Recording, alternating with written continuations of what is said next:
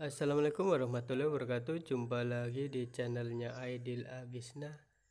Di video kali ini aku akan sharing tanaman hias yaitu Bonsai Bougainville Coconut S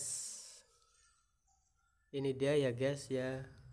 Aku mempunyai koleksian Bougainville Coconut S Warnanya ya Cantik mempesona ya guys ini aku mau membuat tahap bonsai ya guys.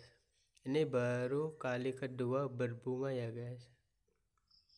Ini dia batangnya seperti ini. Sudah besar. Untuk lanjut ke video jangan lupa like comment dan subscribe dan juga share ya guys supaya aku semakin semangat bikin videonya ya guys